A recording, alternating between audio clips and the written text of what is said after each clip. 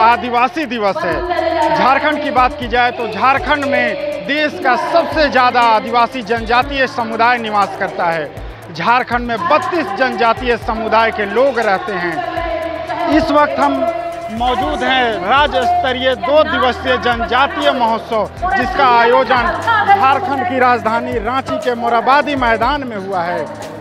थोड़ी ही देर में मुख्यमंत्री हेमंत सोरेन दिशोम गुरु शिबू सोरेन की अध्यक्षता में इस महोत्सव का विधिवत उद्घाटन होगा। आप देख सकते हैं कि आयोजन कितना भव्य आदिवासी महोत्सव का आयोजन किया गया है। जनजातीय महोत्सव का आयोजन का मकसद केवल और केवल ये है कि जनजातियों का विकास हो उनका उत्थान हो। बता दें कि झारखंड में देश के आदिवासी और जनजातीय समुदाय के शोधकर्ता, इतिहासकर्ता, जो इंटेलेक्चुअल्स हैं, उनका जुटान हो रहा है। हज़ारों की संख्या में भीड़ आप देख सकते हैं, जनजातीय महोत्सव में पहुँची है। देश के विभिन्न राज्यों से लोग इस महोत्सव में शामिल होने के लिए पहुँचे हैं। जनजातियों और जनजाति समुदाय के आवाज़ को बुलंद करने के उद्देश्य से जब झारखंड राज्य का गठन 15 नवंबर 2000 ईस्वी में हुआ था।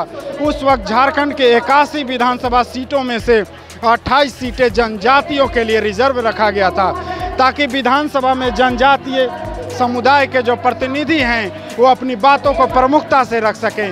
वहीं लोकसभा में के 14 में से पाँच सीटें जनजातियों के लिए रिज़र्व हैं। जनजातीय महोत्सव का दो दिवसीय समारोह रांची के ऐतिहासिक मोराबादी मैदान में हो रहा है। आप देख सकते हैं कितनी खूबसूरत और जनजातियों का जो परंपरा है, उसी के तहत बना है ये पूरा मंच। इस मंच से जनजातियों के उत्थान के लिए, उनके इतिहास के लिए, उनके परिधान के साथ साथ उनके संस्कृति पर भी होगी चर्चा।